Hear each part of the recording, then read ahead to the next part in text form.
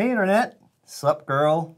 This is Blake de Pastino, editor in chief of SciShow, and I'm only here today because you, the Internet, have asked for a battle royale, if you will. Are you doing okay? No, I'm fine. Between the two powerhouses that make SciShow Quiz Show go. So uh-huh. there's YouTube magnate William Henry Hank Green. Do people really call you that? Hank? Never. I don't know.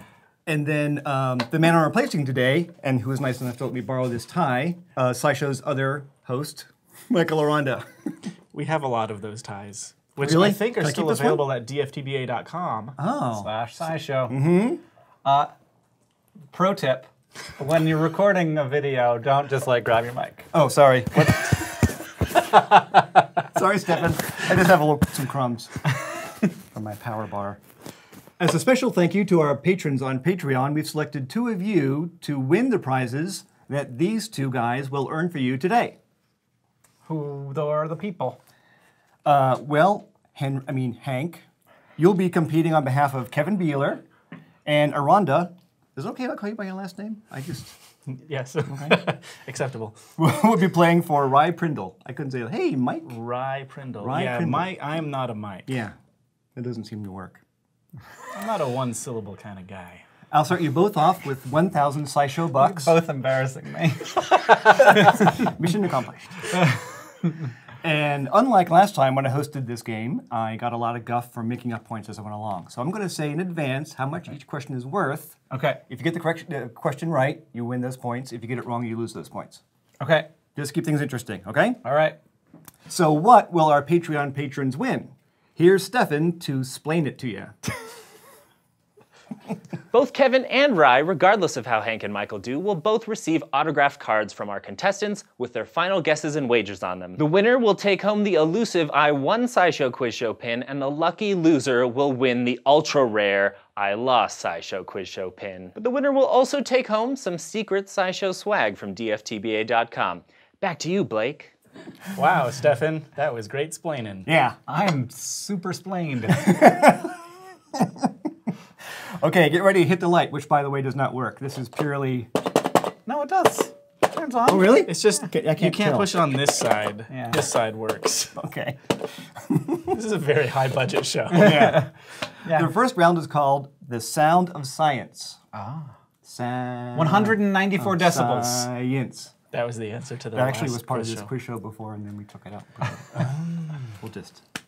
Our first round is dedicated to the science of sound, so maybe I should have called it that instead. No, that's fine. Okay. Even though the physics of sound seems pretty simple, vibrations create waves that travel through a medium to our ears. There's a lot more to explore there. For example, whips. Ah, yes. Believe it or not, there have been many papers written and many theories offered about why a whip makes a cracking sound when you whip it. But in 2002, a pair of physicists from the University of Arizona finally figured out the source of this sound. Ah. So, for 250 American SciShow bucks, why does a whip make a cracking sound? Hmm. Is it Devo. I'm gonna, now there are five choices. Is it A, the sound of the front of the whip coming in contact with the middle of the whip?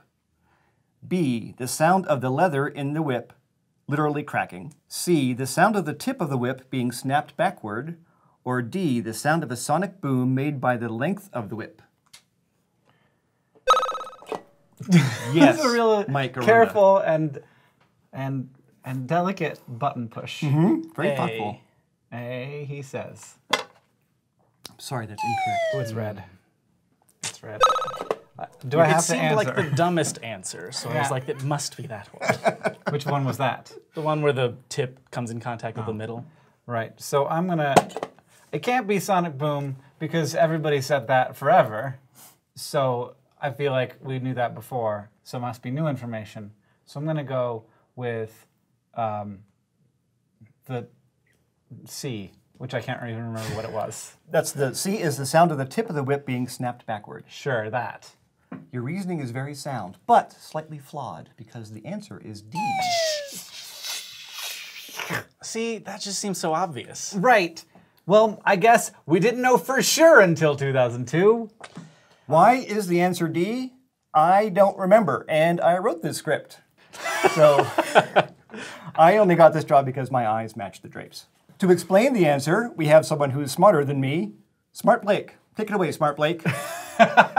Thanks, Dumb Blake. I'll take it from here. For a long time, the cracking sound was thought to be caused by the very tip of the whip breaking the sound barrier, creating a cushion of compressed air that makes a noise, like a sonic boom. But in 2002, the Arizona researchers found that by the time the whip cracks, the tip is actually going about twice the speed of sound and it reaches that speed without making any noise. After further investigation, they found that what makes the crack is the loop that forms in the length of the whip when it's snapped. The loop travels down the whip toward the tip so fast that it eventually reaches 1,234.8 kilometers an hour, the speed of sound. And that's when you hear the Thanks, Smart Blake. Handsome though, isn't he? Yeah, I like, I like his glasses. Now, whether a tree makes a sound when it falls in the woods is a question for philosophers, but a question for scientists might be what makes a sound that everyone can hear? So, for another 250 SciShow bucks, what was the source of the loudest sound ever registered?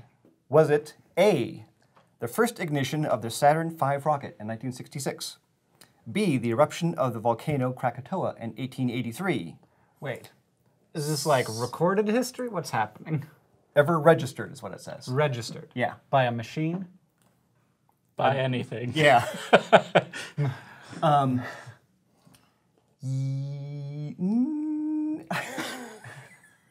Does a does a, a an, an ancient philosopher recording events on his parchment? it's, Yeah. uh, Does it- that well, count he- as Couldn't, registering? couldn't be, no. There are his, historical records of it. Okay. Okay. Okay. Right. C, the impact of the Pribram meteorite in Czechoslovakia in 1959. Or D, the detonation of the first 10 megaton nuclear bomb in 1952. Well, that's definitely. B. Correct. It is B, the eruption of Krakatoa in Ah, It's 1883. probably pretty loud. Now, there aren't any recordings of the eruption of Krakatoa, but historical records from all over the world registered its impact. On August 26, 1883, the volcano in what's now Indonesia erupted with such force that its sound was heard about 5,000 kilometers away on the island of Diego Garcia. And although there were no earthquakes or other shocks, the impact of the sound shattered windows and broke down brick walls within 160 kilometers. Not only that, but even farther away, in cities as far as Mumbai and Berlin, Scientists observed sudden spikes in barometric pressure. Those were the peaks of the shock waves coming from Krakatoa, and they were so strong that they actually circled the Earth at least four times. If you want to compare in terms of decibels, Krakatoa's eruption was measured using barometers at over 172 decibels from 160 kilometers away. By comparison, the Saturn V rocket and a nuclear bomb have been measured at 220 to 250 decibels from just a few hundred meters away. And the Pribram meteorite, it was only about 9.5 kilograms and wasn't very loud. Sorry. Round two. This round is about the science of color. So we're going to move on to another one of our senses and talk about how things, specifically animals, look and why they look the way they do. Mm. Let's start with a condition found in animals of all kinds, including humans, that affects their appearance. For 500 SciShow bucks, what is the condition known as piebaldism? As what? Piebaldism. Piebaldism. Want me to spell that for you? Sure. P I E B A L D I S M. Exactly the way I expected. okay. That's when your pie has no hair. yes. Is piebaldism A, a total lack of body hair, B, a congenital excess of body hair, C, an intermittent lack of pigmentation, or D, a total lack of pigmentation? Ah, yes, gonna Say no body hair at all. I am sorry, that is incorrect. Uh, I'm bad at this game. I'm gonna go into the negatives, man. I made it really Yes, easy sir? for you. Um, the one where there's uh, some hair loss, not all of it. I don't remember which number. That's not an option. There's total lack of body hair, excess of body hair, yeah. intermittent Oh. pigmentation, or total lack of I thought. B was like an excess of body hair loss. But Oh. no, okay. Um, sure, let's still go with B. Why not? Okay, that's still wrong. Hey, yay! it's gotta be C, right? The answer is C, an intermittent Yeah. lack of pigmentation. Yeah, I feel like I knew that some at some point in my life. I knew that, and then I forgot. At no point in my life have I ever known that. Oh, really? Pretty sure this is brand new information. Well, you should pay attention to what Smart Blake has to say. Lots of non human animals owe their distinctive looks, as well as their names, to piebaldism, like the magpie and the bald eagle. In these and other animals, piebaldism manifests itself as patches of hair or feathers that lack pigmentation. While the rest of the animal has some coloration. But the term also applies to humans, in whom piebaldism can create patches of unpigmented skin and hair. One of the most common effects is a lack of coloration in a lock of hair at the front of the hairline. This is known as a white forelock. So that question tells you that this round is about animal colors. Mm-hmm. Let's talk about another condition that affects coloration erythrism. It's a phenomenon that has been found in animals as diverse as salamanders, rabbits, leopards, and zebras. But it was first discovered in the 1880s in a species of katydid. And the katydids appeared to be super obvious in the wild because of their strange coloration. So, for another 500 SciShow bucks, what color does erythrism produce? Is it A, red, B, yellow, C, blue, or D, white? I've heard this. I've heard this prefix before.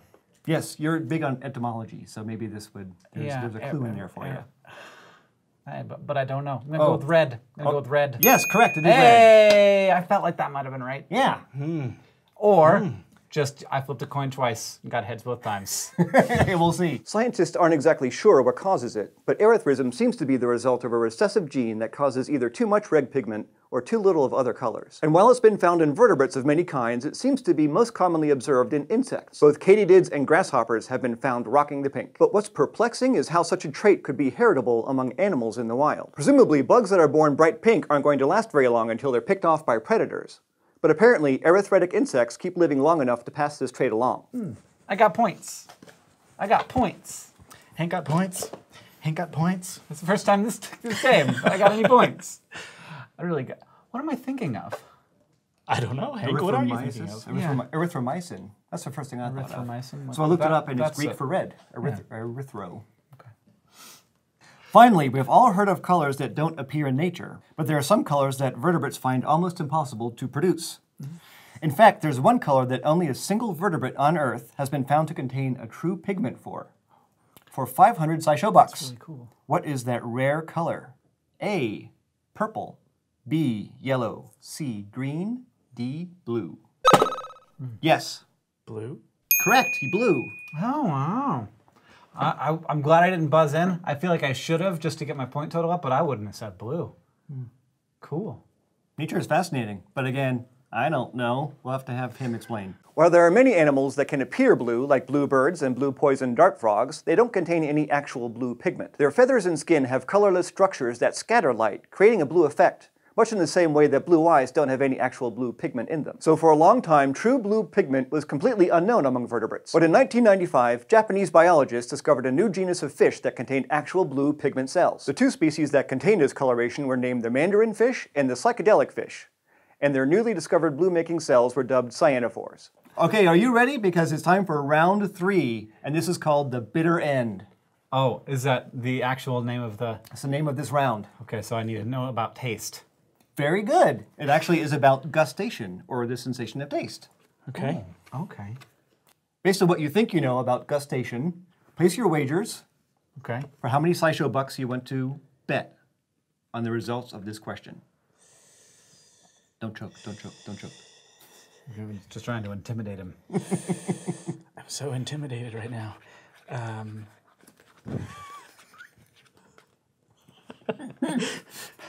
I don't. It's a big number. I'd be, I'd be scared if I was you. Hmm, hmm. Okay. Stick figures don't count. You hmm. have to write an actual number. Oh, okay. Okay, you ready? Yes. Many of the most bitter substances found in nature have been used in alcoholic drinks. Sure. In fact, if you've had any booze at all, you've probably tasted some of the bitterest plants on earth and lived to tell about it. So, hmm. congratulations so far. Michael doesn't drink very I, much. I don't. actually, I don't. so he I don't drink. hasn't. I, yeah. Oh, really? Yeah. so, this will all be new to you. Great. There's one substance that has been deemed to be the bitterest naturally occurring substance in the world, and you can find it as close as the nearest bar. Okay. I'll take you there after this is done. What is this substance? Is it A, gentian root, the main ingredient in the cocktail flavoring known as bitters? Or B, wormwood, the main ingredient in absinthe? C, quinine, the main ingredient in tonic water? Or D, hops, an ingredient in beer?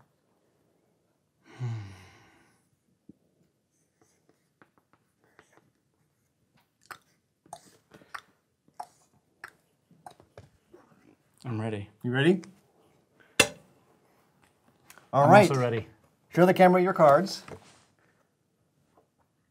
oh God, I'm scared. it says. Dudes, you're both incorrect. Ah. Well, you win. Ooh. Was it bitters? I Yes, figured it wasn't bitters because that was seemed a little obvious. I thought it was hops. Gentian root, the main ingredient in bitters. well, I have had bitters and it's very bitter. But how bitter is it? The bitterest. Smart Blake will tell you. Mm-hmm. The yellow gentian plant, known as Gentiana lutea, is native to Europe, and all of the plant is extremely bitter, not just the roots. That's because the plant is rich in a compound known as amarogentin, a chemical that's 300 times as bitter as pure quinine. And by one estimate, a mixture of just one part amarogentin to 200,000 parts water would be undrinkable. So the dash of bitters that you put in your Manhattan has gentian root in it, but a lot less than that. By comparison, wormwood, the main ingredient in absinthe, is probably the second bitterest substance, thanks to a glucoside compound known as absinthin. As for beer, historical research has shown that before hops was introduced as a brewing ingredient, gentian root was used, which would have made for some very bitter beer indeed. Thanks one last time. You really pulled your weight in this one, Smart Blake. And uh, I am happy to announce that the winner is Rye Prindle. Hey. Rye Prindle. It's been a long and strange journey, but at the end, we emerged victorious. We, Kevin, lost. I'm on a losing streak. You gotta stop placing your bets on me, SciShow, folks. Thanks for joining us for SciShow Quiz Show. Don't forget to go to youtube.com slash SciShow and subscribe. Yes. Good job. That was like his 18th try. We will be here all day. oh, this is what I look, really look like, by the way. in any way related to dinosaurs. Right. They're Thank you. different. Yes. They, uh, they went in different directions. That's what it sounds like when they split from an evolutionary lineage.